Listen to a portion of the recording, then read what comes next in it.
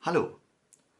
Im Folgenden will ich kurz zeigen, wie du den Echo Dot wieder mit dem Internet verbindest. Das kann passieren, wenn du einen neuen Router nimmst, das Passwort änderst, dann findet er natürlich kein Internet mehr, keine WLAN-Verbindung und das klingt dann ungefähr so. Alexa,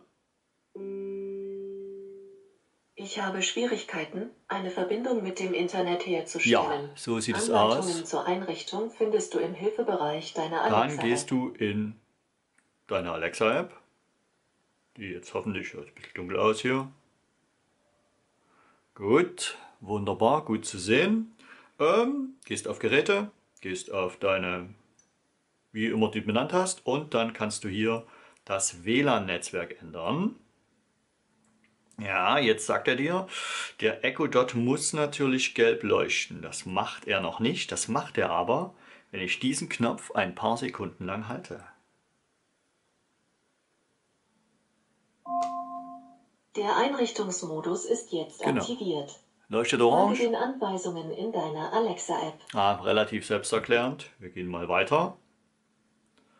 Jetzt sucht er das Gerät und da ist er auch schon. Das ist dann immer der explizite Name des Gerätes. Uh, er hat einen Ton abgegeben und da haben wir es schon. Wir nehmen natürlich den Fuchsfunk 2.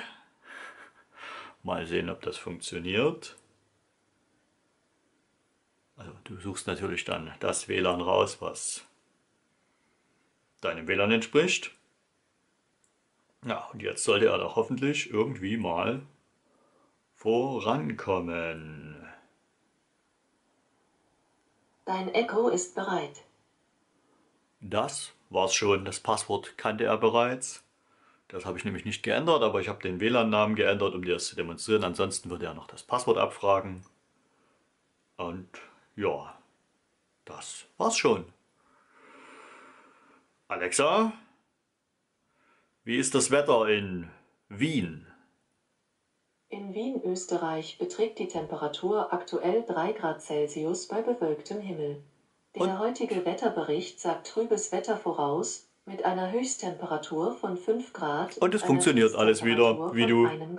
Eindeutig Übrigens, siehst. Ich kann auch Tipps zu gesunder Ernährung und Lebensstil geben. Na, das ist mal Sag gut zu einfach, wissen. Gib mir einen Ernährungstipp. Ein Ernährungstipp. Naja, das war vielleicht nicht ganz so gut, aber relativ leicht erklärt. In einigen Fällen kann es sogar sein, dass die App dich bereits darauf hinweist, dass dein Echo Dot keine Verbindung zum Internet hat. Dann geht das sogar noch schneller. Wenn das nicht funktioniert, kannst du genau diese einfachen Schritte gehen und das WLAN ist wieder da. Dann bis zum nächsten Mal.